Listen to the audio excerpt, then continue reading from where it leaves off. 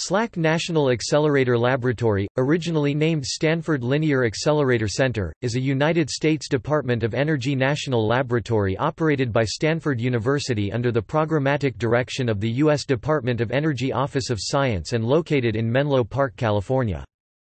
SLAC research centers on a broad program in atomic and solid-state physics, chemistry, biology, and medicine using X-rays from synchrotron radiation and a free electron laser as well as experimental and theoretical research in elementary particle physics, astroparticle physics, and cosmology.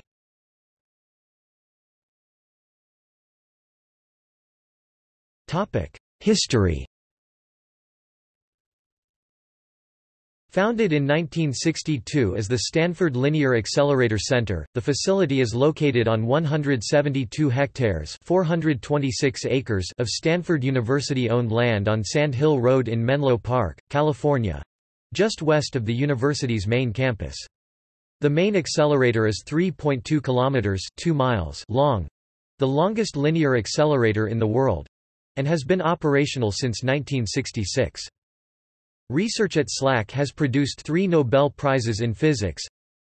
1976, the charm quark C.J. Psi meson 1990, quark structure inside protons and neutrons 1995, the Tau lepton SLAC's meeting facilities also provided a venue for the Homebrew Computer Club and other pioneers of the home computer revolution of the late 1970s and early 1980s. In 1984 the laboratory was named an ASME National Historic Engineering Landmark and an IEEE milestone. SLAC developed and, in December 1991, began hosting the first World Wide Web server outside of Europe. In the early to mid 1990s, the Stanford Linear Collider (SLC) investigated the properties of the Z boson using the Stanford Large Detector. As of 2005, SLAC employed over 1,000 people, some 150 of whom were physicists with doctorate degrees, and served over 3,000 visiting researchers yearly, operating particle accelerators for high-energy physics and the Stanford Synchrotron Radiation Laboratory for synchrotron light radiation research, which was indispensable in the research leading to the 2006 Nobel Prize in Chemistry awarded to Stanford professor Roger D. Kornberg, in October 2008, the Department of Energy announced that the center's name would be changed to SLAC National Accelerator Laboratory. The reasons given include a better representation of the new direction of the lab and the ability to trademark the laboratory's name. Stanford University had legally opposed the Department of Energy's attempt to trademark Stanford Linear Accelerator Center in March 2009 it was announced that the SLAC National Accelerator Laboratory was to receive $68.3 million in Recovery Act funding to be disbursed by Department of Energy's Office of Science.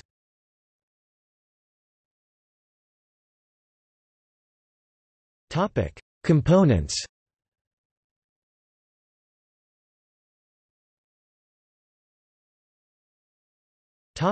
Accelerator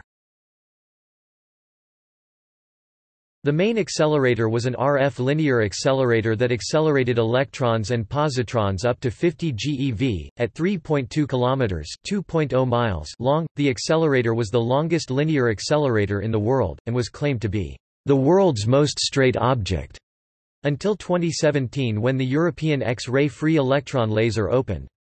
The main accelerator is buried 9 meters 30 feet below ground and passes underneath Interstate Highway 280. The above-ground Klystron Gallery atop the beamline is the longest building in the United States.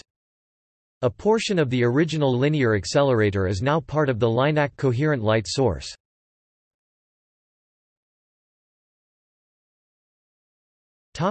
Stanford Linear Collider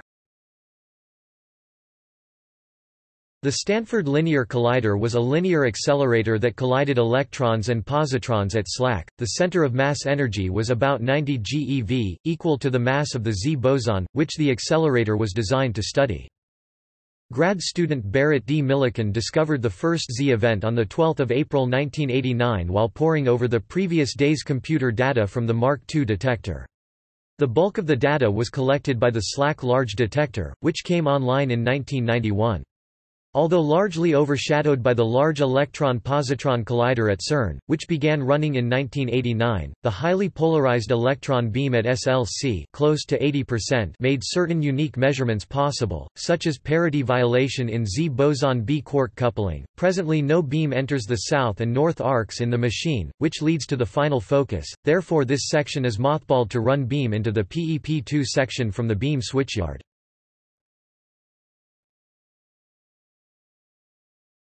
SLAC Large Detector The SLAC Large Detector (SLD) was the main detector for the Stanford Linear Collider. It was designed primarily to detect Z bosons produced by the accelerator's electron-positron collisions. The SLD operated from 1992 to 1998.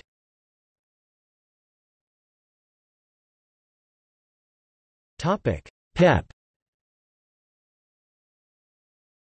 PEP positron electron project began operation in 1980, with center of mass energies up to 29 GeV. At its apex, PEP had five large particle detectors in operation, as well as a sixth smaller detector. About 300 researchers made use of PEP.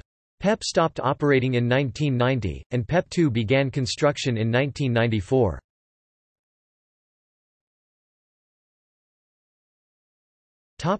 PEP2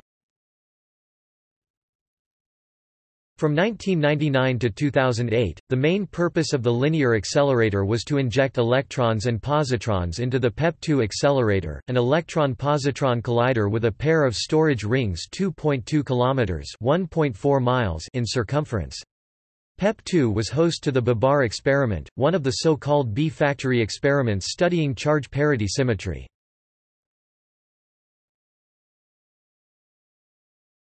Topic: Stanford Synchrotron Radiation Light Source The Stanford Synchrotron Radiation Light Source SSRL is a synchrotron light user facility located on the SLAC campus. Originally built for particle physics, it was used in experiments where the J-psi meson was discovered.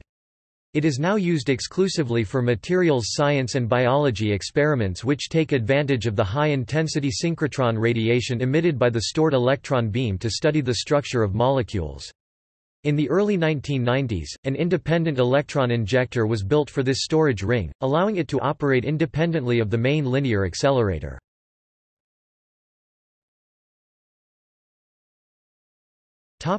Fermi Gamma Ray Space Telescope SLAC plays a primary role in the mission and operation of the Fermi Gamma Ray Space Telescope, launched in August 2008.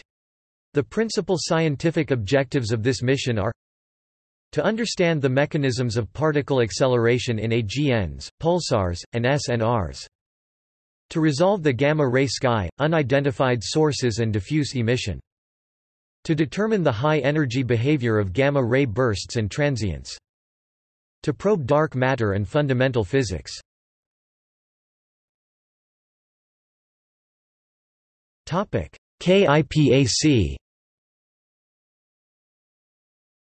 The Kavli Institute for Particle Astrophysics and Cosmology is partially housed on the grounds of SLAC, in addition to its presence on the main Stanford campus.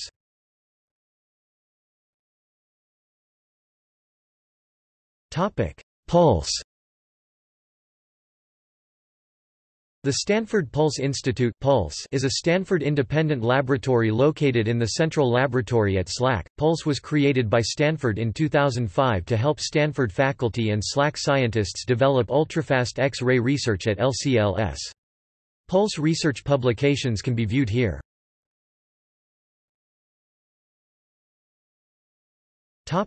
LCLS The LINAC Coherent Light Source (LCLS) is a free electron laser facility located at SLAC. The LCLS is partially a reconstruction of the last one-third of the original linear accelerator at SLAC, and can deliver extremely intense X-ray radiation for research in a number of areas. It achieved first lasing in April 2009. The laser produces hard X-rays, 109 times the relative brightness of traditional synchrotron sources and is the most powerful X-ray source in the world. LCLS enables a variety of new experiments and provides enhancements for existing experimental methods. Often, X-rays are used to take snapshots of objects at the atomic level before obliterating samples. The laser's wavelength, ranging from 0.13 to 6.2 nanometers (200 to 9500 electron volts) eV, is similar to the width of an atom, providing extremely detailed information that was previously unattainable. Additionally, the laser is capable of capturing images with a shutter speed measured in femtoseconds, or million billionths of a second, necessary because the intensity of the beam is often high enough so that the sample explodes on the femtosecond timescale.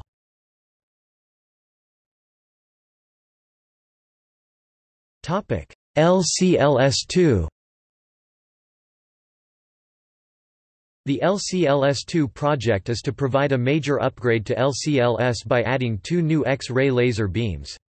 The new system will utilize the 500 meters (1600 feet) of existing tunnel to add a new superconducting accelerator at 4 GeV and two new sets of undulators that will increase the available energy range of LCLS. The advancement from the discoveries using this new capabilities may include new drugs, next-generation computers, and new materials.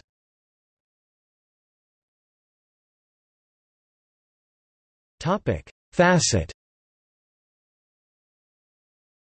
In 2012, the first two-thirds approximately 2 kilometers of the original SLAC LINAC were recommissioned for a new user facility, the Facility for Advanced Accelerator Experimental Tests FACET. This facility was capable of delivering 20 GeV, 3 nano-coulombs electron and positron beams with short bunch lengths and small spot sizes, ideal for beam-driven plasma acceleration studies. The facility ended operations in 2016 for the constructions of LCLS-2 which will occupy the first third of the SLAC LINAC. The FACET-2 project will re-establish electron and positron beams in the middle third of the LINAC for the continuation of beam-driven plasma acceleration studies in 2019.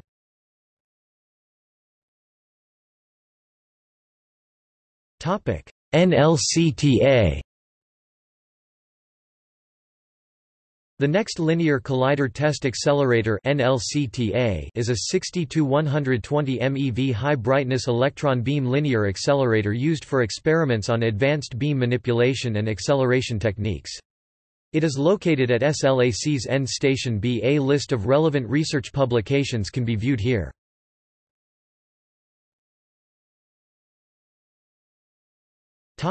Other discoveries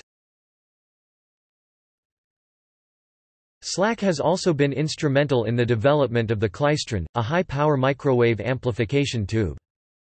There is active research on plasma acceleration with recent successes such as the doubling of the energy of 42 GeV electrons in a meter-scale accelerator. There was a paleoparadoxia found at the SLAC site, and its skeleton can be seen at a small museum there in the breezeway.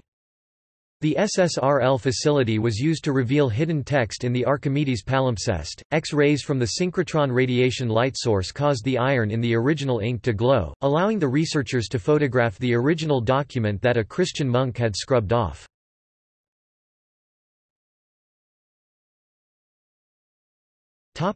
See also